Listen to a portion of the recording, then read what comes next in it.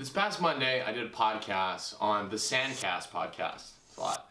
Uh, with Tri Bourne and Travis Mewhirter. And uh, what this is, is we live streamed it to our MCK volleyball channel. So I took that footage and I put it in this video. Now, you don't have to watch the entire thing. I've timestamped all the things that we talked about and the questions that they asked me in the description below. So you can go there, see what you want to watch, just click the timestamp and it'll fast forward the video to that exact part. So some of the things you can find in the timestamps below is why me and Riley got into a fist fight with each other in New York in 2016, um, what it was like for me to play with Reid Priddy and then Ty Loomis. Also, you know, after winning San Francisco finals, why I decided to partner with my brother again. Also, there's a Wilson giveaway. I'll put that in the timestamp as well. And I'll give you instructions on how you can enter to win a signed volleyball from Riley and I. Now, if you don't want to watch the entire video, I get it. So you can download the podcast. I'll put a link in the description below and you can listen to it on your car drive or whatever you want. But you should check out their other podcasts. They've interviewed April Ross, Phil Dalhausser, and many more international and AVP players. So, disclaimer we use this equipment called Sling Studio, which allows us to wirelessly broadcast with multiple cameras for this live stream. So, we did have some te technical difficulties, and the audio portion for the first four minutes is a little echoey, but hang with it, it's pretty cool. Like I said, just use the timestamps to see what you want to uh, check out, and uh, let us know what you think. All right, thank you. So, uh, we're good? Yeah. Start the Sandcast? Yeah. All right. Well, this is Sandcast. We have a, we have a lot of action going on here today. We got what three cameras? I think we got some. We got our audio. We got a video producer, an audio producer. We got an, an actress doing the lighting for us today. So wel- welcome back.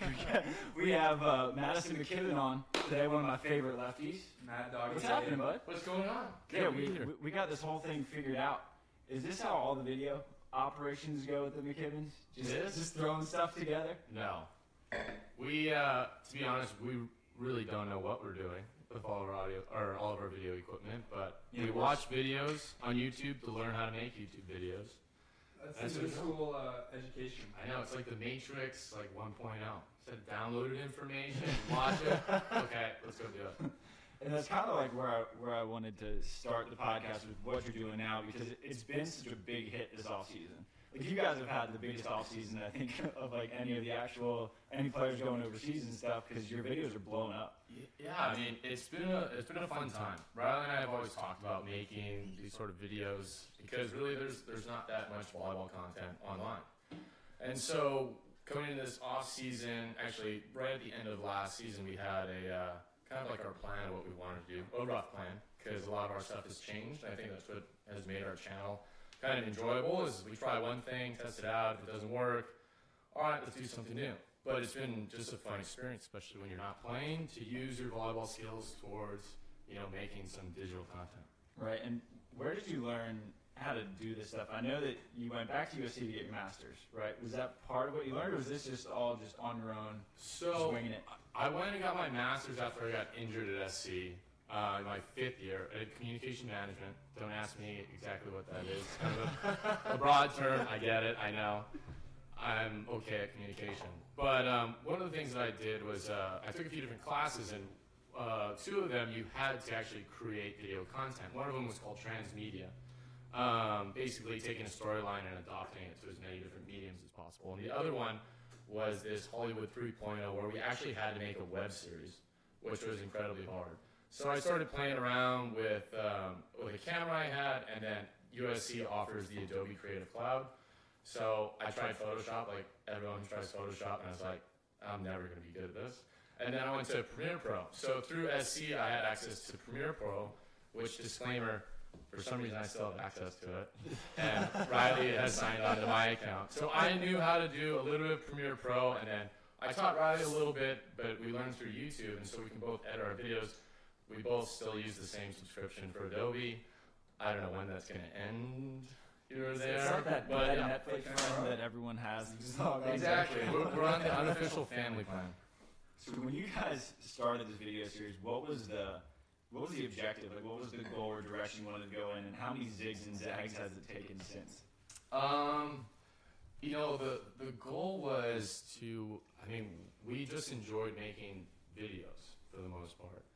Um, and it's something that we never had the opportunity to explore. We both studied business, but we always, you know, enjoyed movies.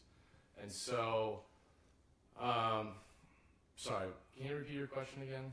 Just Yeah, uh, what direction did you guys want to start with the videos? Yeah. Because I know Okay. you said you like you said that you have no idea what you're doing, so I'm assuming that it has taken some zigs and zags to so, where you are now. So we initially went on YouTube to like, you know, find some beach volleyball content, you know, answer some questions that we had, and there was nothing out there.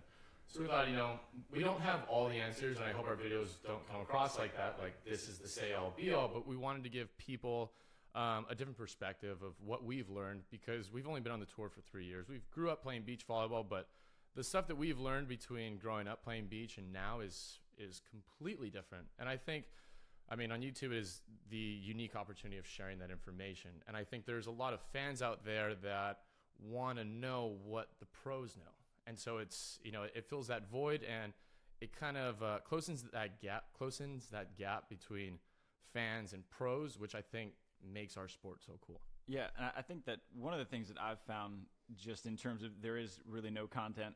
Like, there's not many other beach volleyball writers not. that I'm competing with. There's no other beach volleyball podcast that we're competing We're with, and there's yeah, we're killing it. We're monopolizing the game, and what I about think that John the- Mayer? Oh yeah, sorry guys. Well, they're they're coaching. they're coaching. No, they oh, do they're- indoor. They're a coaching podcast. Yeah, that's more like Okay, it's a lot of that's indoor stuff too, All right. and mm, technical. There's We no, just, like, we just kind of wing it. Players and Yeah. drink wine and hang out and talk. Podcast. And I- I think it's the accessibility to the players that you mentioned, though, that is so unique about this sport. Like when I started writing about it, like I got try, I got your phone number with like I sent like a couple of text messages out and got it. And you were the fifth ranked player in the world, so that would be like me sending three texts and I have Kevin Durant's number. you, you just don't see it very often. And yeah, that's a good good comparison. Yeah, Right? I think, yeah, relatively. About right. yeah, so I don't know what number five. I, I put K- I- well, KD's I'm- probably like one or two. Yeah. With LeBron, KD, and then after that, it's kind of a stepping stone a little bit. Depends who you like. Who's yeah? Who is the NBA player that you compare yourself with? Oh whoa.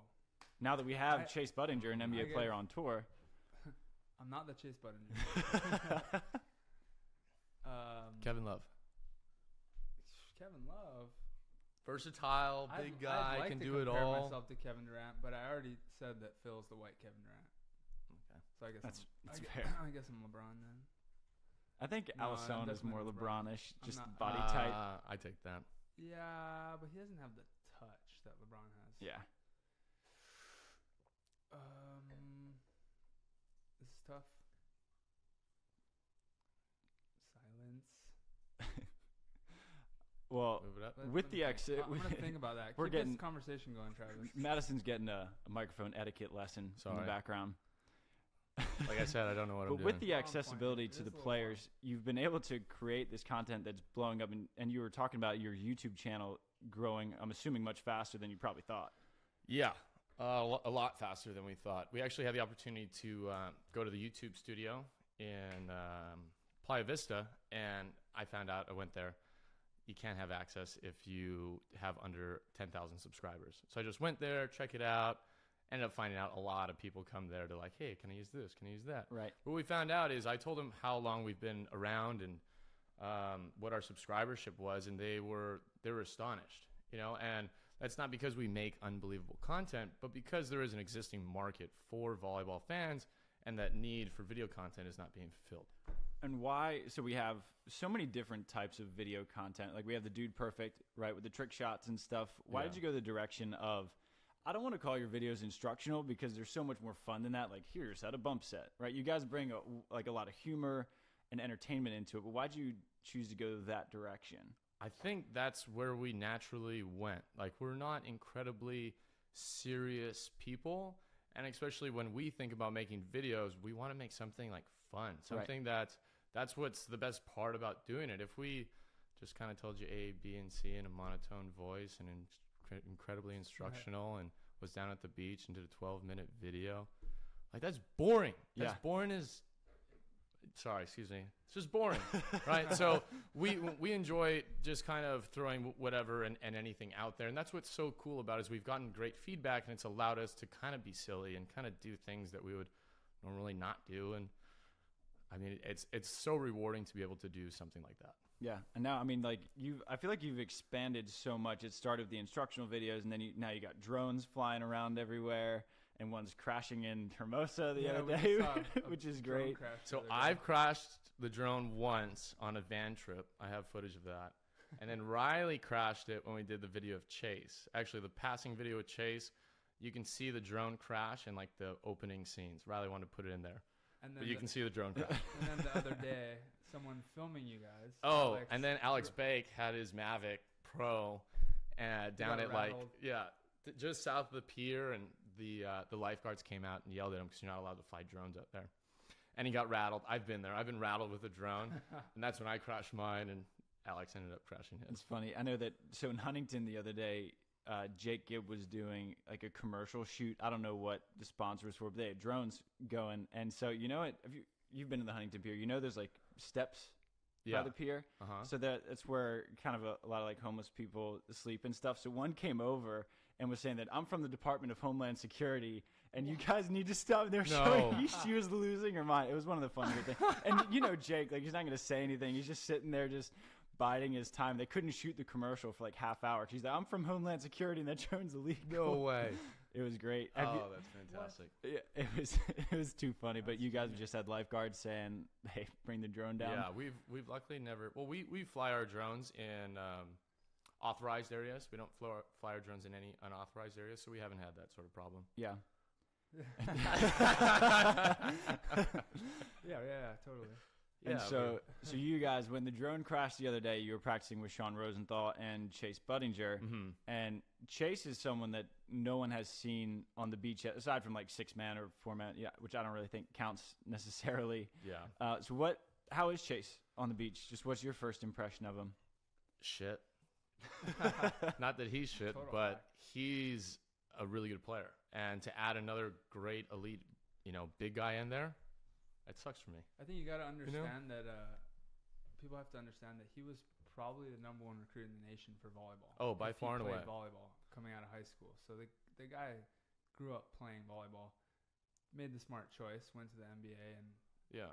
made a decent living there. So if I can remember correctly, he was in the same class as Kavika Shoji, Garrett Muagututia was All American from UCLA, and then I know Spencer McLaughlin played against him. So did my brother, all Yeah. growing up in club. And Tri's right; he was hands down I watched the play. best player out of those. And you're talking about Olympians here: Kavika, Garrett. Garrett was on his team, and Chase was a better player than he was. And that's Yeah. what one of my buddies coaches at UCI and helps out with the national team. And he said that if Chase would have stuck with volleyball, there's no question Yeah. that he'd have been on the national team. So Mhm. I think that So there's just his speaks volleyball to that. base. Yeah, the athleticism. What an idiot! However, however, U.S. national team for volleyball or NBA basketball NBA. player? Yeah, dude, he could have been on the beach this whole time. What a dummy. And now you have made the transition from indoor to beach, and I know that it's not an easy one. hmm And your story of you and Riley making that transition to beach is one of my favorites. When you guys were practicing, Oh yeah, No yeah, one could yeah, see you guys. yeah. so a lot of our listeners, like for me, for example, I never played indoor volleyball. I have no idea how hard it is. Mhm. So can you walk us through just the transition from indoor to beach, why it's so difficult, and just the process of it, and how long it might take a guy like Chase, who has an indoor background, was Yeah. phenomenal, but there's a lot of skills that might be difficult to translate. Well, I, I can't say that transitioning to the beach was as hard as it is for some indoor players because, like Tri, I mean, we grew up playing at the outrigger. So we more grew up playing beach, went to high school and college for indoor, and then went back to the beach, right? Also, Maddison, you played on the junior national. I feel like you were almost like a, a beach specialist growing up, a lot more than some of us, because you got to play on the youth national team. Right? Yeah, fortunately. Not many people played on. I didn't even play on the youth national team actually. Yeah, there, there wasn't, to be honest, It- there wasn't that much competition back, well, the back pipeline. then. Yeah, it was like you sign up and you're there, but you got to play and you were kind of the guy for for that age group. Uh, kind of, but while. I mean, I mean, what, what an awesome experience to be able to do that. Like, I was 17 years old, went to the Netherlands. I think I got caught drinking by USAV, but it's neither here nor there. but I mean, being a being a young kid, being able to travel the world, you get that like. You, you get that opportunity to play internationally, and it's like, whoa, I could do this later on after college. So being able to experience that made me want to play beach that much more. It's like, wow, this is an amazing experience. when you've been there, Yeah. like meeting people from all over the world, these international competitions, and some of the international teams are so much nicer than some of the U.S. teams. Yeah, mean- it's it's a it's a legit experience for sure, and I think, I mean, especially when you're young, like it's you're like, holy crap, they just gave me a shirt that says USA Volleyball on it. Like this is sick. I'm on the national team. Yeah. You like think it's the Once you get all that ever. USA gear, Yeah. I made it. It's just like cool. It's just cool to say too. Yeah. Yeah. I never thought of it that way. You're right. And so you were three-time state champ at Punahou. So yeah, three-time state champ. I actually uh, disclaimer. Obviously, I lost one year. I lost to Brad Lawson, who's actually our producing the our sound. sound designer and producing the sound today. So yeah, shout out to Brad. He beat me once. But yeah, So you three-time. were three-time state champ in high school, and then you made two Final Fours in college at Um, USC. Yeah, two Final Fours. One was with you at Penn State, Yeah. and then the second one, Tri and Riley were gone. Tony Ciarelli single-handedly took us to the finals with with Micah Christensen. Not a bad team. I had nothing to do with it. yeah. And then you went overseas to play indoor. So what was Uh, your experience? Was sort of ish. I know you were kind of in and out of injuries, right? Experience. Gosh, where do I start? so um, I I got injured my, my senior year at SC, and then redshirt that year, stayed a fifth year. That's where I did grad school. And after that, I was like, you know, I I never really felt like I really reached my potential in indoor. So I was like, you know what? Uh, I really want to go play internationally. Riley had a few experience, uh, a few years experience playing, and so what happened was Riley was kind of on his way out, but he's like, hey, let's try and get on the same team here. I was like, dude, that would be awesome. But it was tough to get me on a team. So Riley did some finagling, and we ended up getting on a team in Greece, in Lamia. And so, I, unfortunately, a month before uh, we left, I like uh, I injured my knee. I think it was a stress fracture in my knee, and so I ended up leaving, going to Athens, living with my agent for a month while Riley practiced with the team in Lamia, like two hours north of Athens. Um, long story short, our team wasn't great. The owner was a little shady, like most international Standard. U.S. international players have dealt with. I'm not saying anything new. Uh, we had our ups and downs, and um, Riley ended up. Things were just not going well. Riley ended up signing a contract to uh, to to Italy back in November, and I was going to wait it out. And I, I can go into depth of how this this went. It's kind of a funny story. Uh, go But, for it. We're- um, we're, all about the funny Yeah, stories here. So what- what happened was we went to Athens to play in this match. Uh, the owner told me if you don't play well in this match, you're out. I was like, No well, pressure though. I don't really care because no one was getting paid on the team at the time. Yeah. I was like, eh, no, whatever. One, no one was getting paid in the whole country of Greece at the time. So we we played in that match. We their international players weren't supposed to play that game because they weren't getting paid, but then they ended up getting pa- getting paid before the match. It's it's complicated, but we lose in three. I got player of the match. I played well, played really really well, and so our coach allowed us to stay in the town um, when we played there. So we stayed in Athens. I stayed with two of the guys on the team. We had a great time, and then we took a train back to our place. And I get back to my apartment, the one that Riley used to live in. We had three bedrooms. I go open my room, and I open the door, and there's a guy from Brazil sleeping in my bed, sleeping in my bed, and I'm kind of hungover, and I turn on the lights. I'm like, what the what the f is going on? and he wakes up, kind of like, looks at me, scoffs at me, and he he can't really speak English. So I was like, dude, get out of my room. Like I'm not leaving yet. You gotta take my spot. player of the match. Take my spot. and so what ended up happening was uh, obviously the owner got this new outside hitter to come in, but because we had um, a limited number of, of international players, I had to sign off on my release. So I was like, I ain't signing that paper until you pay me my money. right. So paid me my money. I signed it. Called Riley. Riley had a two-story bedroom uh, apartment on the beach in Italy in Ravenna. I was like, dude, no, let me come stay with you. I, I don't want to go home yet. Yeah. So I went there. I played housewife for like three months and just kicked it and chilled. That's awesome. So yeah, that was my time in Europe. Sorry if that was too long. I regret No. not visiting you guys out there. Yeah, we had a great time. I time. planned my trip the whole time. I was busy doing random things. Uh, I feel you. It was a fun time though. So you and Riley have sort of always been partners in a way, because like Riley kind of convinced you, hey, let's go overseas. You pulled some strings. You're going indoor. Then Yeah. you kicked it with him for a couple months, and then you guys started out on the beach.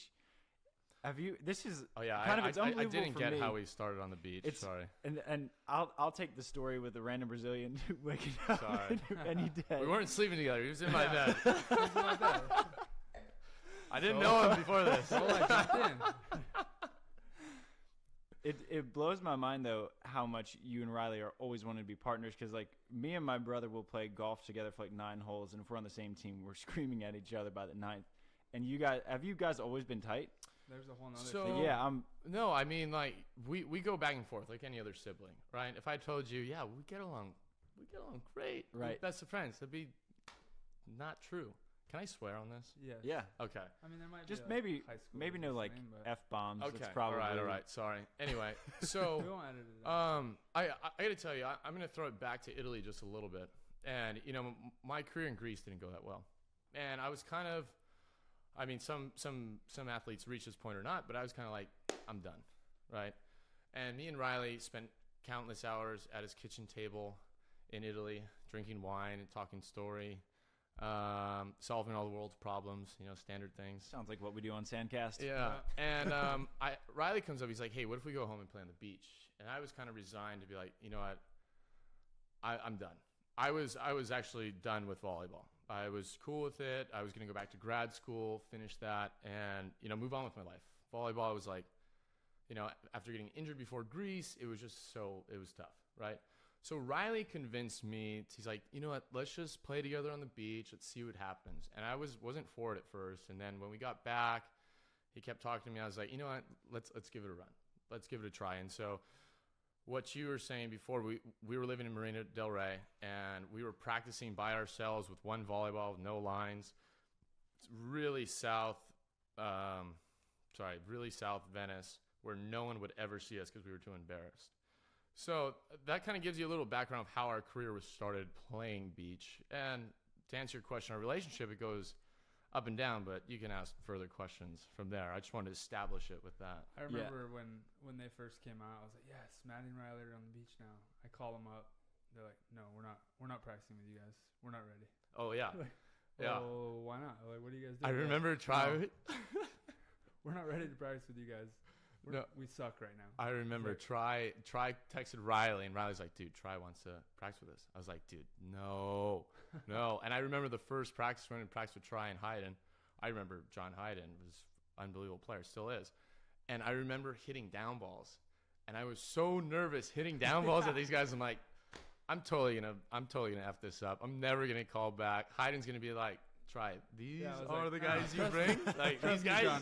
They're good. They're good. They're good. Trust me. Give them another shot. And at the time, we had at least eight inch beards too, the Wait, longest they they'd were, ever wait, been. they were longer than what you're rocking now. oh yeah, Yeah, they they were were here. I have uh, my ID somewhere.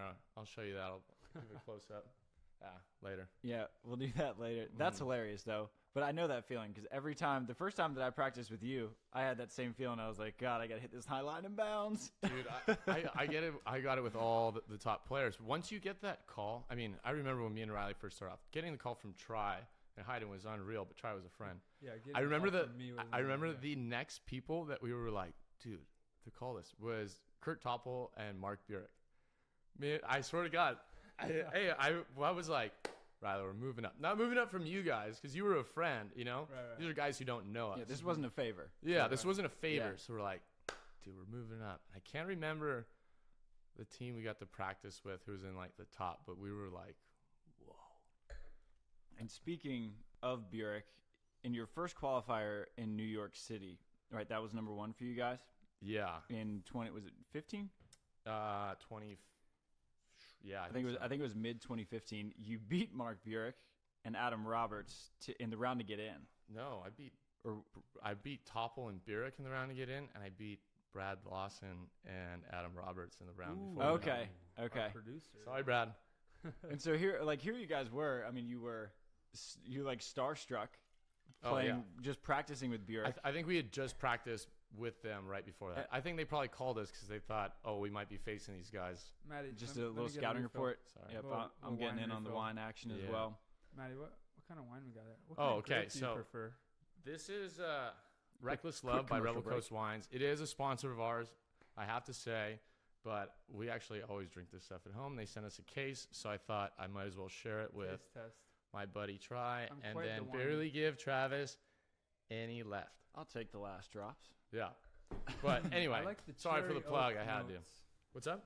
Just talking about the cherry oak notes of the. I the can't wine. tell. Tri's to become a sommelier in his injury timeout. A sommelier, yeah. I don't know how to pronounce those. I can't tell. All right, never mind. Um, anyway, But yeah, so you you beat Burik, who you were just starstruck to practice with. hmm Was that sort of your when you had that moment? Was was that like a welcome to the AVP tour? Like we're here, or were you thinking at that time, man, we got kind of lucky? Because I feel like there's one or two ways you can go with that. That you've established yourselves, or man, we got to prove this wasn't a fluke. first of all, nobody tell Burik that Matty was star. starstruck I'm sorry. I, I'm just I'm just being honest. Hey, I love it, but if this Burik's gets back guy. to Burik, we're all gonna hear about it. It's all right. It's all good. All right. Um, no, I think um, we didn't think we we made it. Um, to be honest with you, that was I mean, aside from San Francisco, um, that was probably our my most memorable win on the AVP to make it. I think we were the twenty something seed to make it out of the qualifier, and it was our very first AVP event. So I don't know. We weren't there is there's another long story behind that um, tournament which I think you might enjoy. Do you want me to get into it, or are we trying I'm, to move on? I'm always good with story time. so, Stories are good. so that tournament was was a tough one. I'll get. Um, my- my nana was uh, was diagnosed and um, with cancer, and um, she was in the hospital, and our parents were visiting her. So my parents sent my little brother with us, Jameson. He was like 14 years old at the time. So like, all right, we'll take him with us. And so the the night before that qualifier, our nana, who you know from Hawaii, Yeah. uh, she passed away. And so we talked we talked to our auntie on the phone the night before. So that, you know, added a little bit more emotion to it. And we had our little brother with us. And so going into that uh whoa, going into that that that qualifier, there was not a lot on the line, but we had a little bit more to fight for. And to win that, I mean you can imagine kind of the emotional response with all of us there. And so we got to play in our very first AVP event. And so um, we had the option of of getting a coach for seventy five dollars. We're like, oh, who better than our fourteen year old brother, Yep. Jameson, right? And so we ended up playing Casey and Gibb the first round. We got close, but they were probably just conserving their energy. And then later that night, um, we or no, so we didn't make it to Saturday. We uh, we went out Friday night, and uh, me and Riley left Jameson in the Airbnb. Jameson ends up locking us out of our apartment, and Riley has to scale three stories up because Jameson's asleep, In and New he's York climbing. And I New York just made an Instagram post of this. I was literally spotting him from 20 feet up, like, dude, I got you, I got you. And Riley's like deathly terrified. I'd be scared. He's hanging on a ledge going across. I can't a great imagine game. how much he yelled at Jameson. Oh my gosh, lit Jameson up, but it was deserved because Riley almost died. And, or if he didn't die, I would have died trying to save him. That's kind of Right. what our relationship is like. It's like something out of Home Alone. Perfect. Yeah.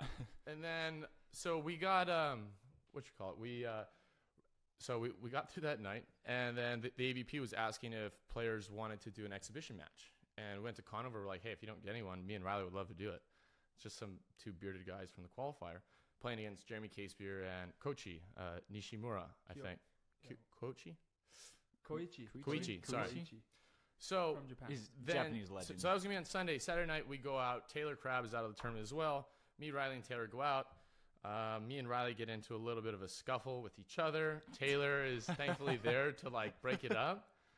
Uh, like Riley was chasing me down the street. Taylor is like is trying to push him back. Taylor, thank you very much. I can I could have taken him. I could have taken him. I him. can name a few other occasions where, where I was Taylor. Uh, But yeah, anyway. R- Riley's like trying to juke Taylor on the street, and I'm kind of like, uh, he looks a little crazy. But we got into a That look in scuffle. We, we ended up making up. We had to we had to make up and then head to the AVP tournament and then play in this exhibition match, which which went pretty well. So that was our very first AVP tournament, and not all of them are that eventful. But yeah, I thought I'd share. And so, so you guys, I think you you make every qualifier but one. Um, San Francisco. San Francisco. And it was funny because I was training with Dylan Maarek this morning and we reminisced Dude. on that. He did. Dude, they played well. Yeah, What's- I mean, and, who and he was playing with, Co- he was playing with Um, Cody Kessel, who Dude, Cody Kessel came out of nowhere. I, I didn't know who can, he was. can jump over. I know. People think right I can there. jump high. He Yeah, skies. Kessel's he's springy. And I didn't know what to expect either. And I think their first round they didn't do very well or it was close. So I was like, hmm, okay. But it was windy and, and Dylan played really well. But anyway, that sucked. But I mean, I'm thankful. Almost every qualifier we've played and we've gotten out. I can't say that for most of the people. It gave you a little juice for uh, San Francisco the next year. Exactly. Yeah, so Saving you turned you turned a bad memory into a really good one. Not qualifying to winning. Yeah, that's not bad. It's not bad. I'll take it. I'll take it any day. That was a that was a fun uh, uh, AVP to call on the broadcast where I had Maddie down. On the, I just I didn't even have to do my notes on Maddison. I'm just like spewing out like Uncle Owen's back home watching on TV right now, and Claudia, and That's just cool. naming the whole family is like the easiest match to call. I think a lot of people thought I was uh, a little biased because I just kept talking about you. I was Never. Like, You're well, just calling keep- it, calling it how you he's see Never it. a jumping higher, child- hitting harder. childhood friend, college teammate. I got called. I Best got called out later in the year by uh, the the Wannabes, which is like a cheering group in, in Chicago. New Orleans. And yeah, They're a sure. New Orleans-based kind of traveling band of volleyball fans. yeah. They they were holding up a sign in uh, in where was it? Chicago in the stands, and they got on TV and it says, "Tri, we know you're from Hawaii."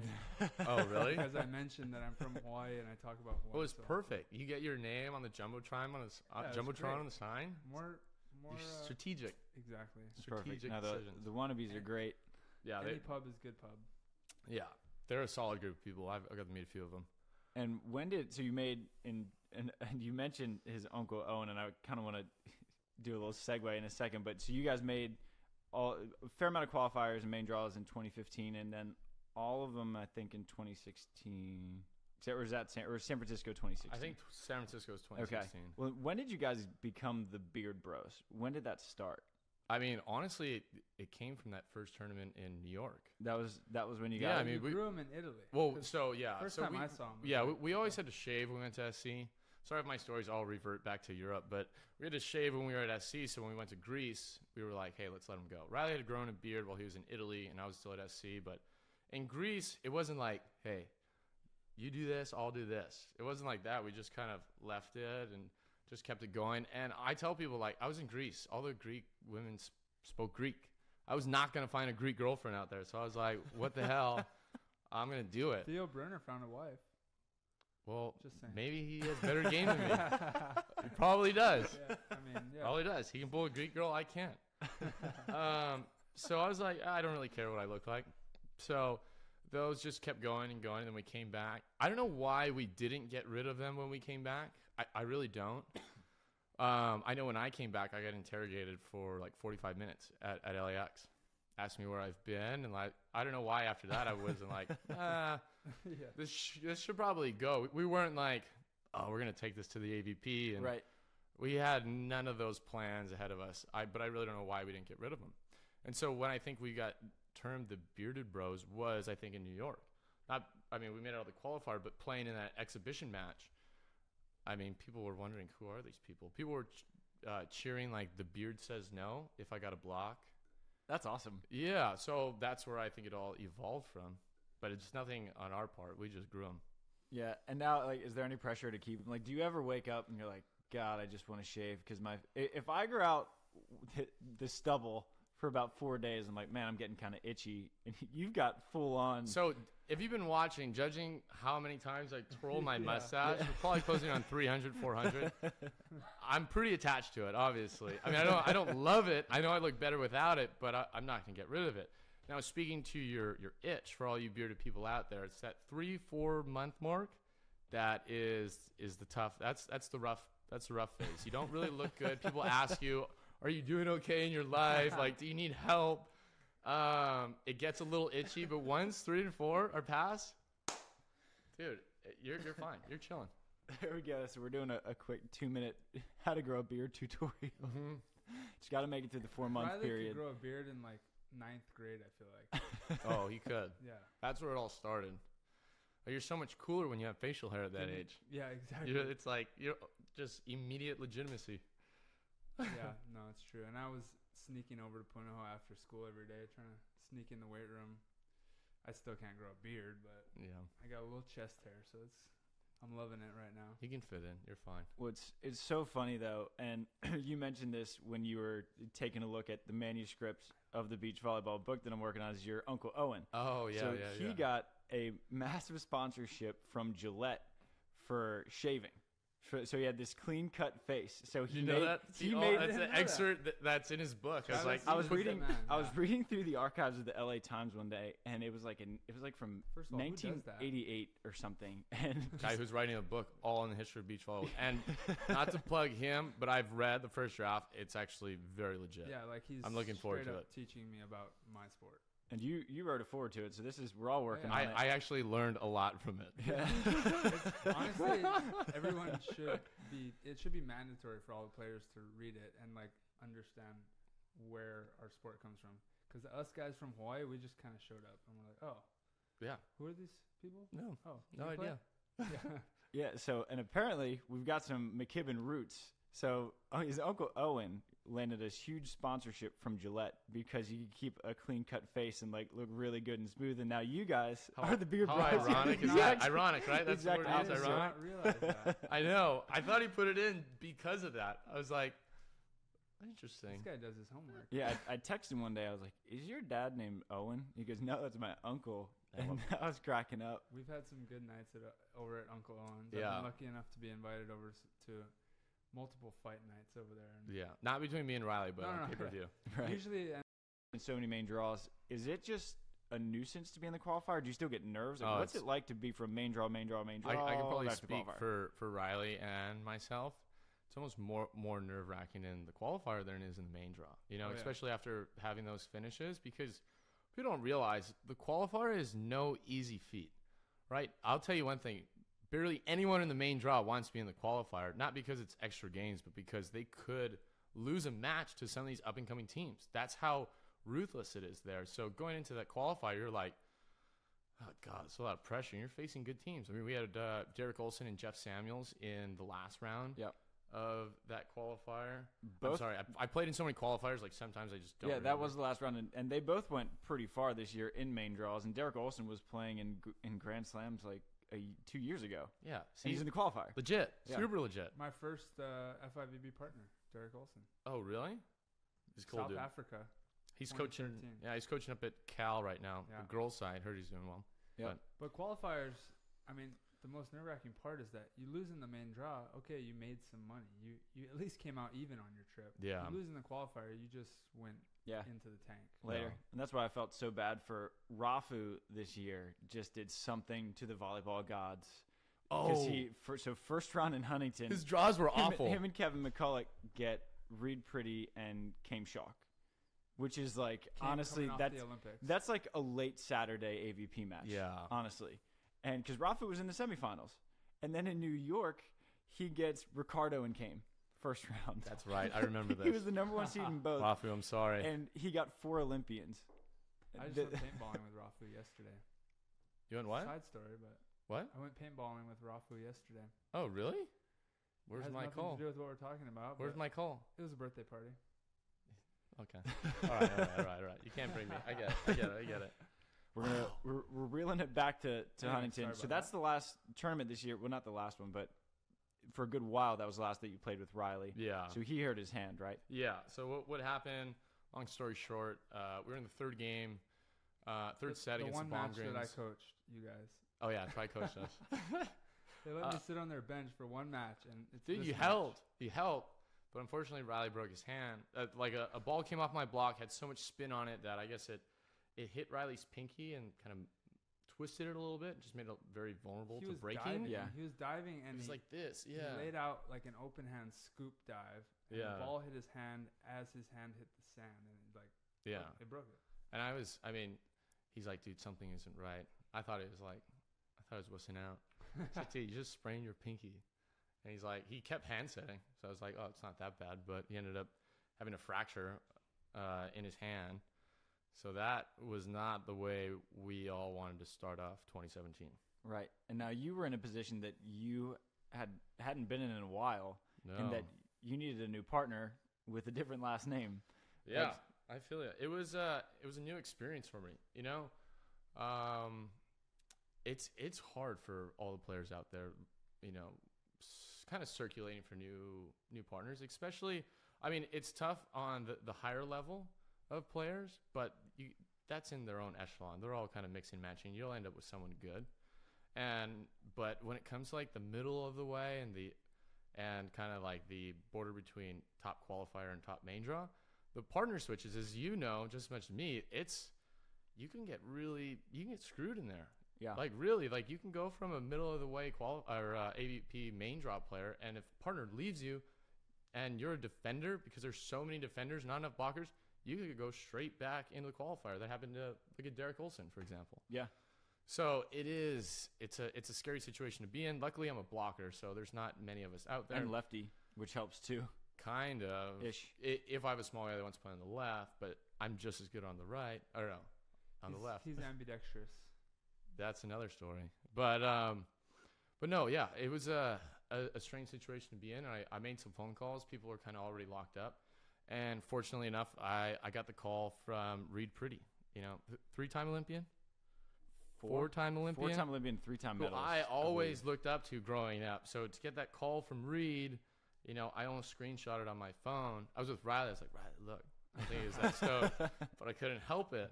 And so to, to get the call from Reid Priddy was uh, like a dream come true. Who would ever thought I'd get to play with this guy? right. Yeah.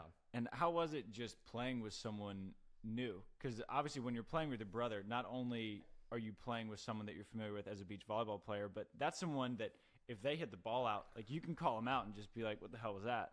Right? But when you're playing with someone new, you're just like, "You got it." Like you kind of got to ease into these new relationships. Yeah, I mean, I'm definitely a player to fall on the side of like, hey, don't worry about it. I'm definitely not going to call anyone out. But I learned a lot from Reid, and on two different sides of it. One was his mentality and approach to the game, which was unique. I mean, you don't play in four Olympics and don't have this set mentality of trying to get things done or approach things differently.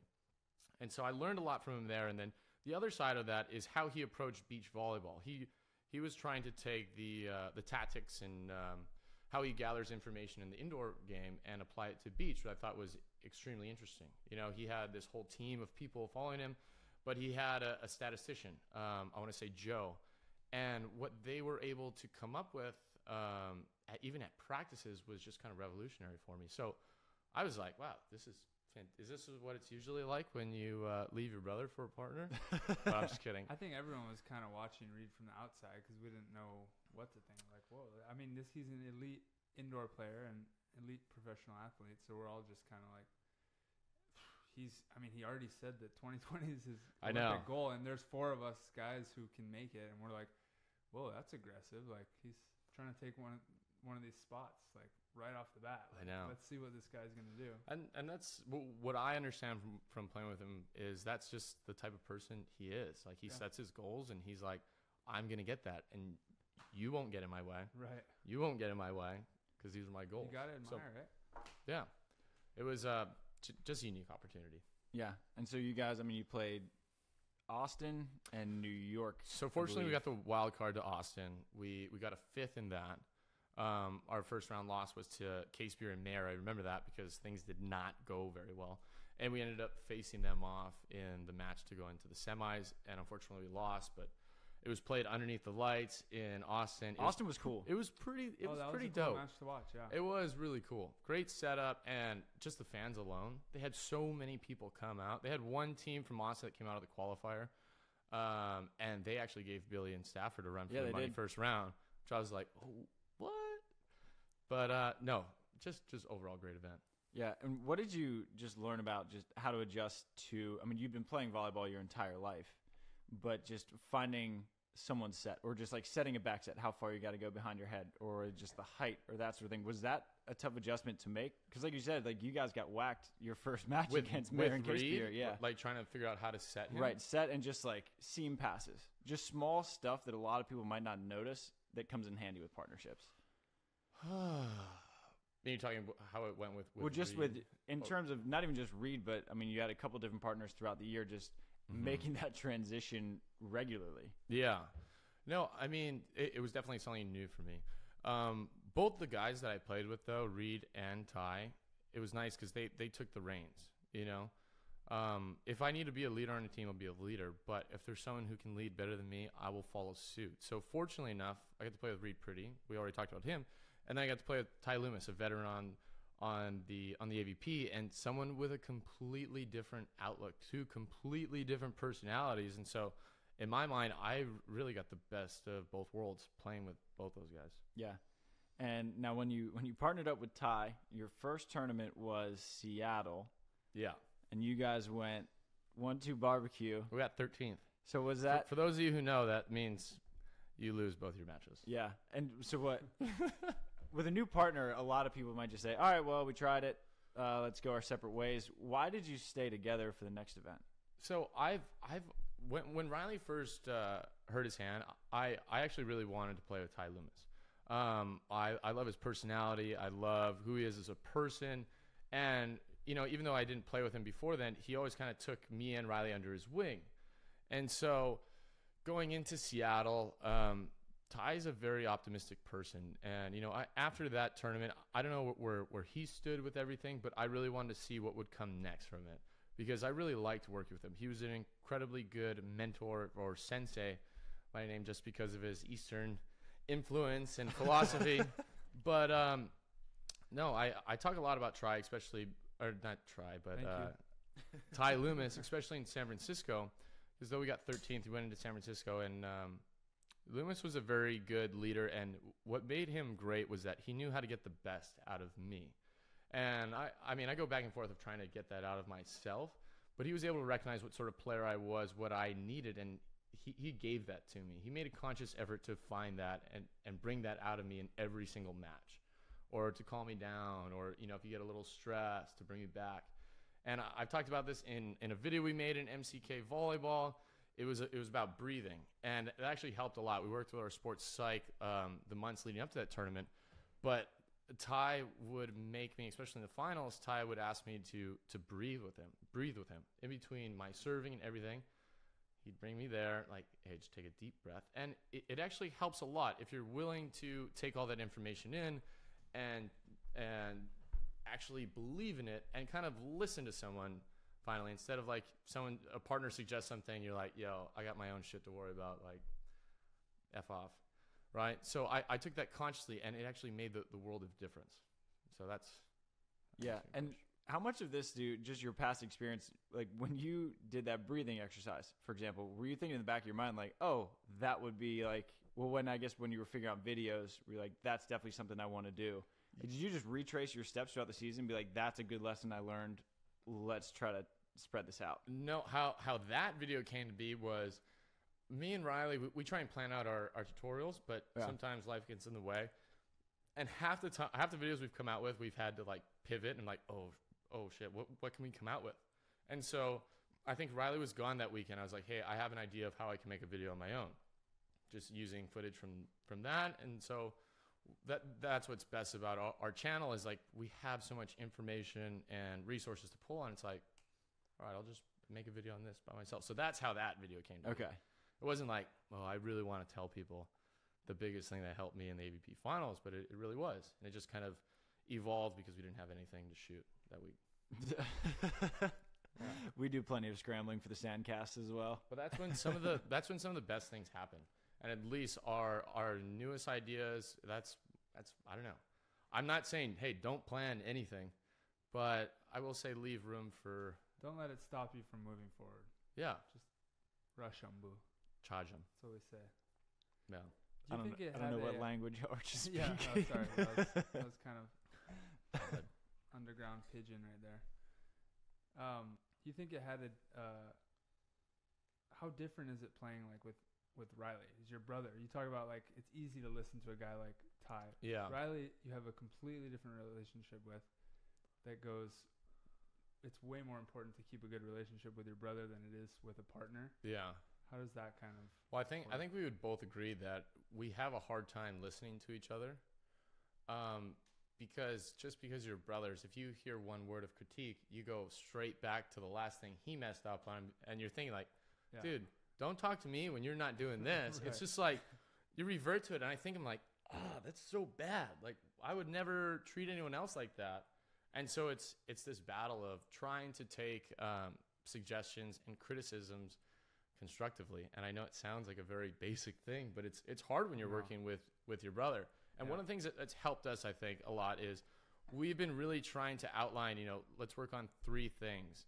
Uh, we came up with a video with Gina, and Gina talked about the three things that she wants to work on in practice. So we've tried to implement that. And the one thing, how that has helped us, is we have a plan of okay, this is what.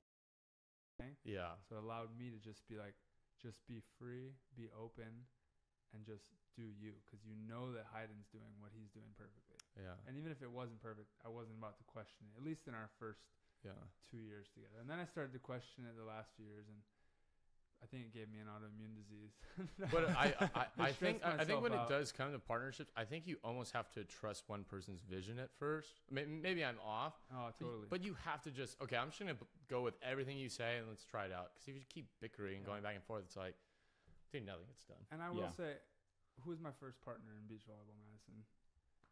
Riley McKibbin. Riley McKibbin, his brother. So I played with Riley a lot. Riley was better than Tri Really? growing up. Riley kind of kind of taught me the game. I mean, we started playing together. He saw. I mean, these are like He saw a tournaments future where- yeah. s- second are- best These are player. tournaments where you can, in the world. you can win like a like a twenty dollar Costco card, but they have to give it to your mom, oh so yeah, you don't lose your NCAA eligibility, Right. something like that. high stakes. But yeah, me and Riley started playing together, and he was kind of like, he's kind of he's a intellectual guy. He's a thinker, Yeah, and I'm, if you know me, I'm pretty much the opposite. So us playing together, he was like telling me like the secrets of beach volleyball that he had learned. hmm He was like, they, him and Spencer uh, McLaughlin went up to Cali in high school once, and and was like living with Stein Metzger for a few days Yeah. or something, like asking him questions and all that. So he brought that back. Anyway, I played with Riley, and I was for sure learning a lot from him. hmm We kind of learned to love the game together. But I think I see that same thing in your guys' relationship that he's a little more of the intellectual guy, and you, as you proved with Ty, are Mhm. more of the me, I guess, like Yeah. intellectual. I mean, instinctual. Don't think. Trust our preparation, hmm and in some ways, just be the beast. Yeah. Like a lot of people give me credit. Some matches where it's like, "Wow, Tri you went off." I was like, I literally just listened to every single word that Hyden said. I knew exactly what he wanted me to do, and I executed, Mm-hmm. and it made me look really good. Your first win, hmm which congratulations. That's awesome. Thank you. Did you expect to win an AVP tournament this year? No. Like, what was? Did you have like a? did you have like a, a timeline of goals? And where would have would winning an AVP have fallen on that? Um, I you know I, I wish I did have a, a further timeline of goals. Um, I know I have some goals for for this year, but um, I, I you know I, I don't know where th- that would have fallen. Um, with that tournament, you know that with a few of the other tournaments, a lot of the best teams were not there. But when people look back ten years from now, they will not remember that Nick and Phil weren't there. They'll just remember that me and Ty won it. So looking Sure. back, I won. But you know, we we didn't have a lot of the best teams there, so it was kind of the it was the perfect storm.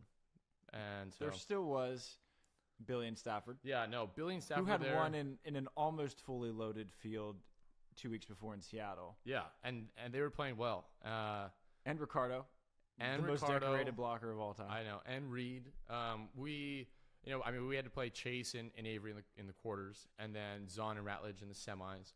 Uh, a team I had never really wanted to go up against. Um, and then yeah, Slick and Billy in the finals. Um, I mean, I have to say, Slick I know wasn't 100. percent uh, he he strained his ab, I believe, in the semis. Even though he was still able to pull off that miraculous comeback in the semis, down. I thought 14-11. You told me 14-8. 14, 8 or 9. And thanks to the new AVP rules, I don't know what, what it's called, but you have to win a real point Free at the end. serve. Free serve, right? They were able to come back, and so that that finals was. I mean, I I can't take anything away from myself. I, I stayed in the moment and I, I played well. I played probably the best I, that I've ever played, which surprised me. Um, but you know, Slick wasn't 100. percent I mean, Billy was incredibly gnarly, and I mean, you got to look at Ty Loomis's performance. He was siding out at huge numbers every single time. Not, not like that's not like him, but we, we played we played well. Yeah. Yeah. You guys played awesome ball, and what I was wondering immediately after that tournament, if I'm Riley, I'm probably like, shoot, my partner is gone. Did you? Was it at all like a consideration when you won that tournament? Did you have to? Was there any rethinking that maybe I might have to stick it out with Ty instead of going back to Riley when he gets healthy? You know, from from day one, um, uh, just coming back to that story, R- Riley is the reason why I'm playing beach volleyball, and I didn't go back to him because of that reason. But you know, when I first started playing with Reid, I told Reid, when Riley comes back, I'm gonna play with him. Same thing I told to Ty, and after when San Francisco tried, I mean Ty tried. God damn. Ty tried.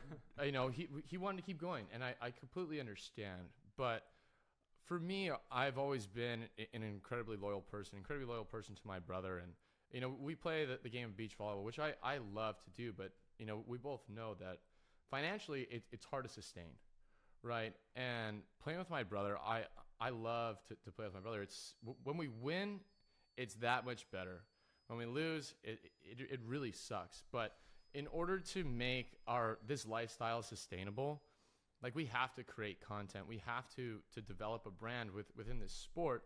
And I'm not saying that I'm only playing with him because of our brand, Right. but honestly, like to when you win with someone who's who's had your back for that long, or you know who has encouraged you to pursue so many different things, like that in itself is like you know what I know I had success with this one person, but I'd I'd much rather win with you, and so what my goal is I want to win with Riley, right? And so I, I get to do that. We get to keep making content and be these idiotic bearded brothers on the AVP, and and to me that's where I, I want to be be in life. That's and I'm completely happy with that. Yeah, that I love it too. I respect. It's great. Yeah. And so now here are you guys are, are making content. You're doing everything that, that you're mentioning there, and and with beach volleyball, one of the ways to be well financially risky and sustainable is to play international. Now you won an AVP, so you proved you can play with the best in the U.S. Has there ever been any thought for you and Riley to go international? I know that you're playing in the NORCECA qualifier on Wednesday. Yeah. Which no one ever finds out about NORCECA's. You can No, check their they schedule a hundred times a day. You Yeah, won't, you you won't find to- out till two two days before. I just found out the day before the registration closes. If you go to down to the beach during one of these NORCECA qualifiers, you can see pretty much an AVP going on. Yeah. So at the beach, but they don't promote it. I know. well, so, we're gonna do the USAV's job right now. We're playing in the qualifier, the south side of the Manhattan Beach on Wednesday, the 14th. which is the day that this comes out. But if you're watching on Yeah. Facebook, um, and it's gonna be 8 a.m., 10 o'clock. Well, maybe you won't see it, but um, you said uh, like it was an option to go play international, right? Right, You said it? like, well, you guys want to go play? Hey, I'd love to go play internationally, but the competition right now is it's incredibly competitive.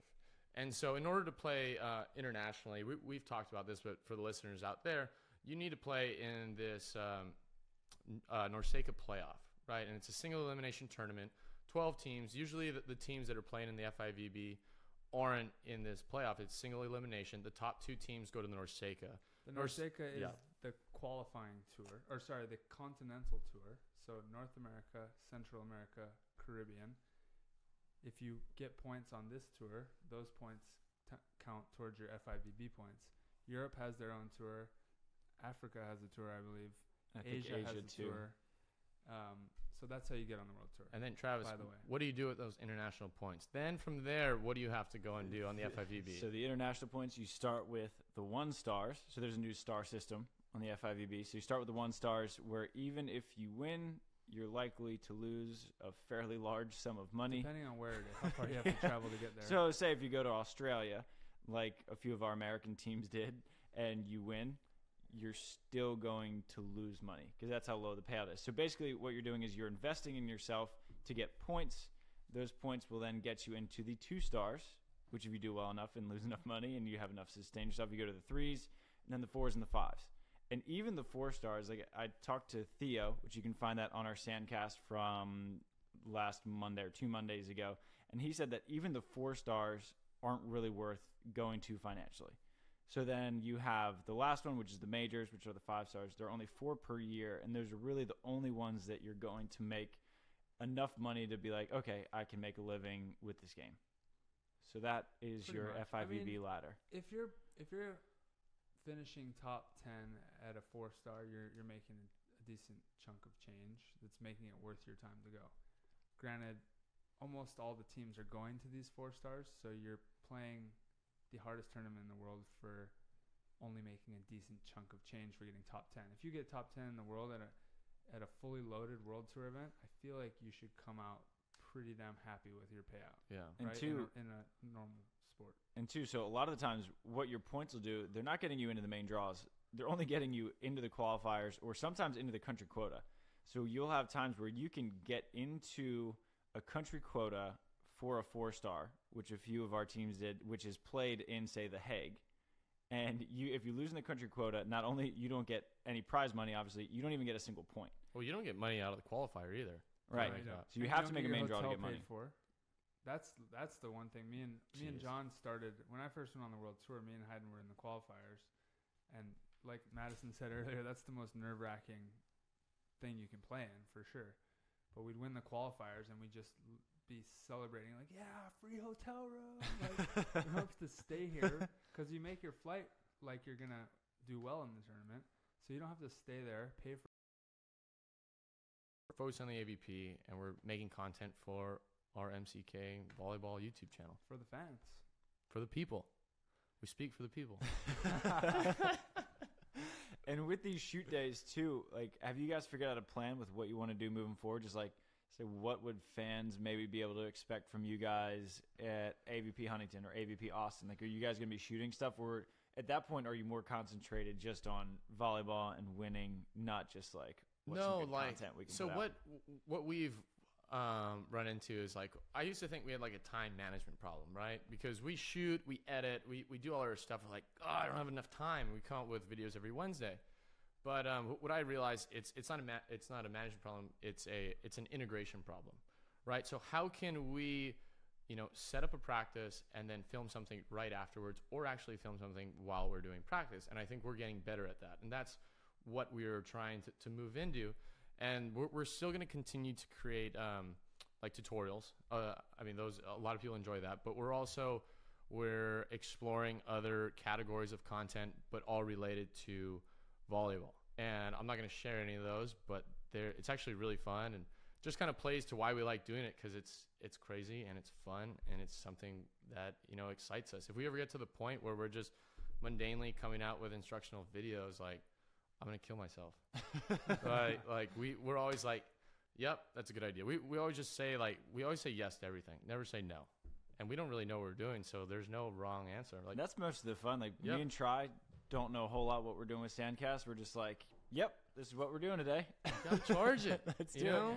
like I mean, there, there's a saying that, that I really like, and there was a there was this pottery teacher, right? And he split the class in half, and he had half the class. The whole objective of the class was make the best pot you could possibly make.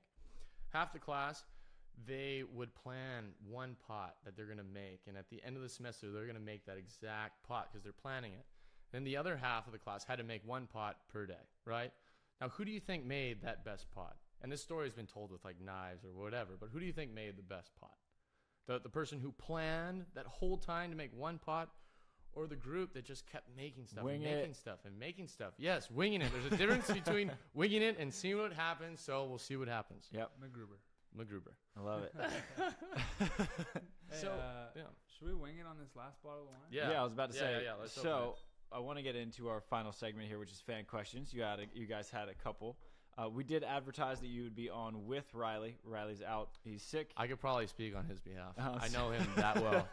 I mean, half the time we say the same thing. So while we get the fan questions ready, we're gonna just pause for We'll have a Riley for episode. just a, a quick bottle of wine here. Now this is also a sponsor, right? Yeah. So I think I said earlier, Rebel Coast Wine.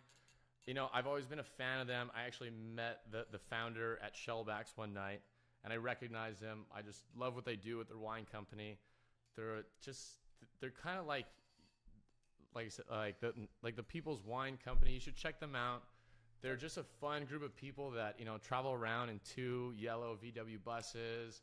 The guy has a big mustache, so obviously I was attracted to this bottle. Obviously, I was attracted to him. No, to this bottle. So no, it, it's been fun to work with them, um, and, and I think uh, along the lines of making content, it, it allows us to create um, it allows us a little spill there. Sorry. it allows us to have more uh, more latitude on how we could potentially make content with sponsors, and that's what I like because we both studied business, me and Riley, and so you know, making content. It's like, hey, how can we, um, you know, uh, creatively make content for brands? And oh, We got a little wine Sorry, I was spillage. trying to let you guys hear the. so it's it's Before. been a fun experience to to work with a company like this, especially a wine company, because I like wine. Yeah. And now we're we're all sponsored also by Wilson. so we're gonna have a Maddison McKibbin signed mini Wilson volleyball. And Yeah. so to to win that You want me to say it? Maddison McKibbin, yeah, go ahead. Okay. You can be the spokesman. Cole, are we on this camera or that camera? All right, and just for the so those who are listening to the audio version of this, you can find the live podcast back on the McKibbin Facebook, Yeah. which is where we will be able to win this volleyball. It's volleyball. And this isn't going to be an every time thing. This is our first test, our, our trial of this. So I hope you guys enjoy it. But so to win this volleyball, if you're on Facebook right now, or if you're listening to this podcast, all you have to do is go to MCK Volleyball, find this live stream, which will be hosted on MCK Volleyball. And all we want you to do is, is comment tagging two friends. All right.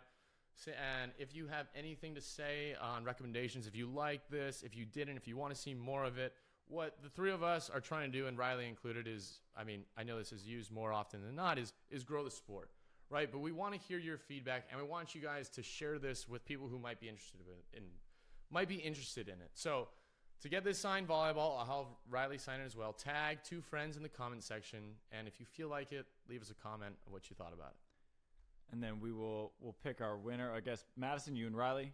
You, Sure. You can pick the winners. I'll pick the winner. All right. So the McKibbins will pick the winners, Yeah, I and like we will that. get this Maddison McKibbin signed volleyball to Thank you. you